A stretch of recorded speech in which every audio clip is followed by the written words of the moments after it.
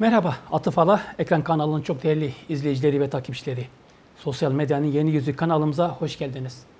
UMH birliklerinin Libya'nın güneyindeki petrol sahalarına ilerleyişi temalı yeni bir video çalışmamızla daha sizlerle beraberiz.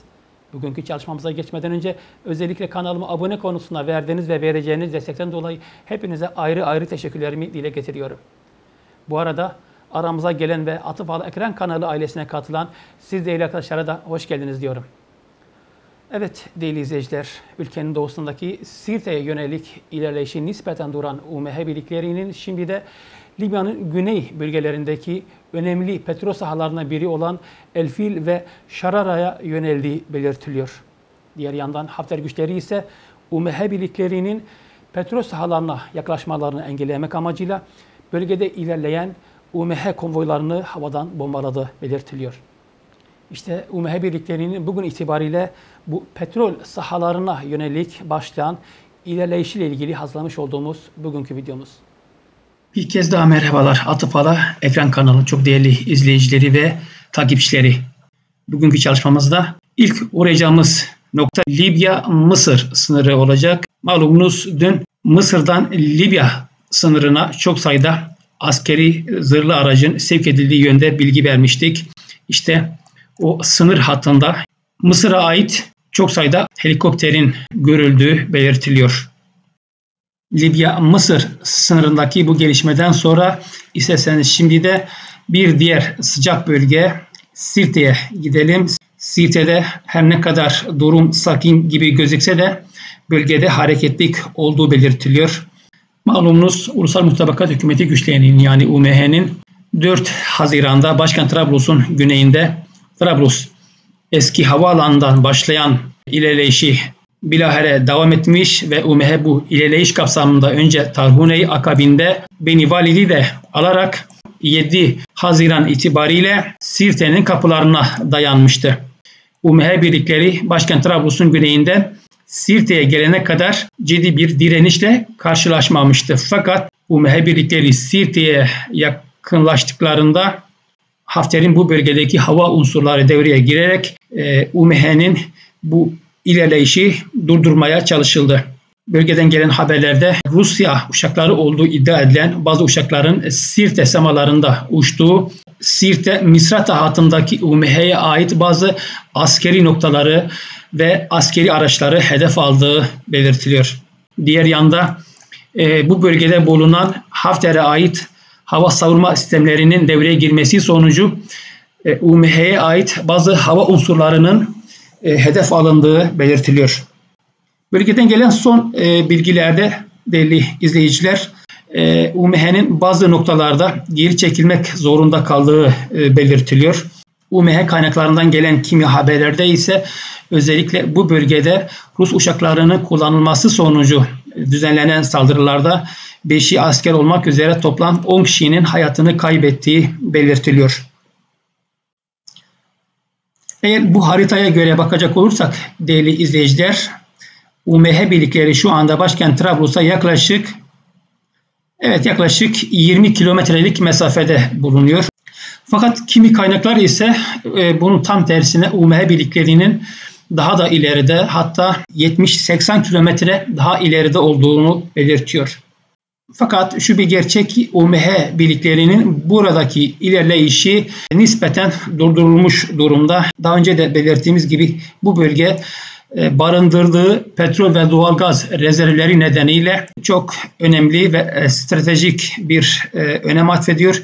Bu yüzden bu bölgenin el değiştirilmesi yani kolay olmayacak.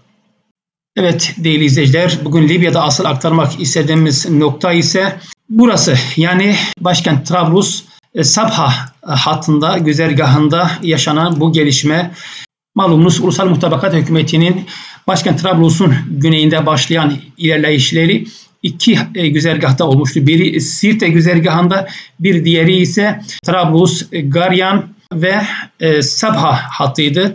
İşte Ulusal Mutabakat Hükümeti güçleri bu Miza'dan sonraki ilerleyişlerine önceki gün devam etmiş ve aralarında Gayrat ve Şerif'in olduğu şehirleri almışlardı.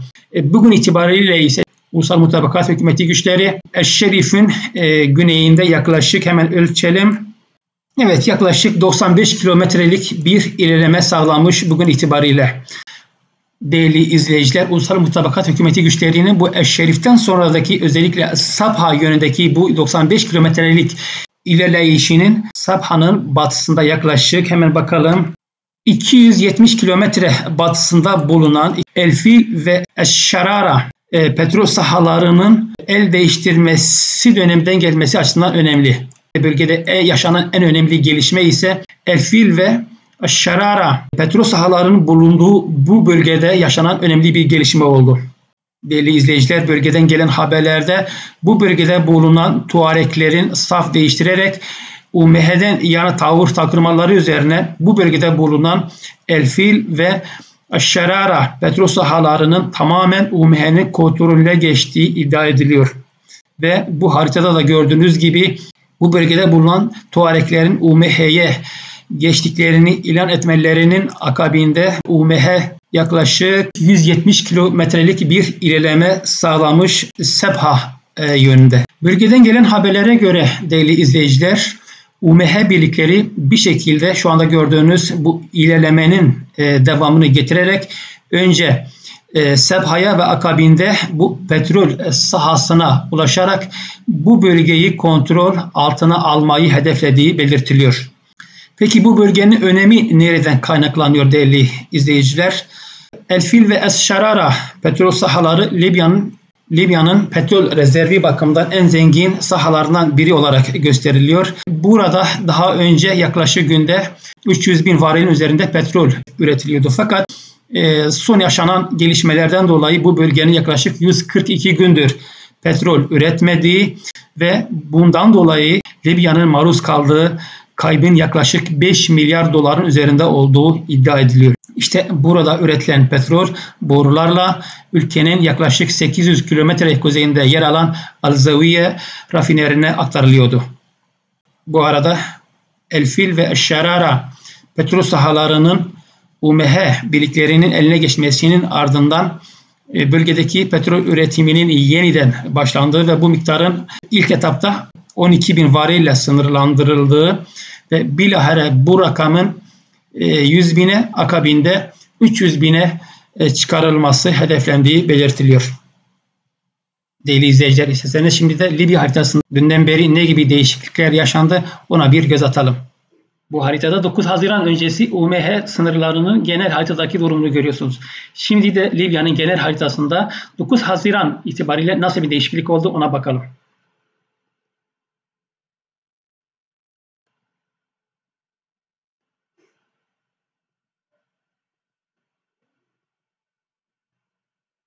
Şimdi de UMH'nin Libya'nın kuzeybatısındaki harita durumuna daha yakın bir haritadan bakalım. Ise, bu haritada ise UMH'nin Libya'nın kuzeybatı bölgesindeki sınırlarını görüyorsunuz.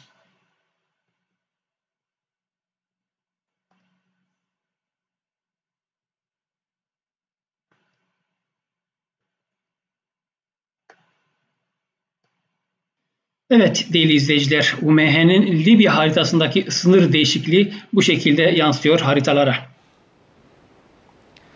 Evet değerli izleyiciler, UMH birliklerinin Libya'nın güneyindeki bu stratejik petrol sahalarına yönelik ilerleyişiyle ilgili aktaracaklarımız bunlardan ibaretti. Bir sonraki yayında görüşmek dileğiyle. Sağlıcakla kalın, mutlu kalın.